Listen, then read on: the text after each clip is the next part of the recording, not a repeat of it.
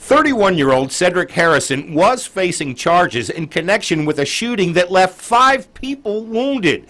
Last Friday, though, the Virginia Beach Commonwealth Attorney's Office filed a motion during the preliminary hearing for the case to drop the charges against Harrison. We were having some witness problems.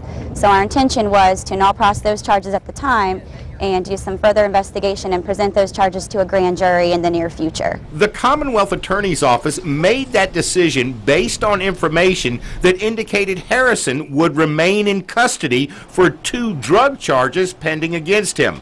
But in fact, Harrison was released from the city jail after Friday's hearing. I have heard since then that the court meant to revoke his bond on one of those charges but never entered any paperwork doing so. In a telephone interview today, Virginia Beach Sheriff Ken Stolle told 10 on your side his department had no choice in the matter. The law required Harrison's release. And if he's obtained bond on the only criminal charges that are still existing, then we have to release him.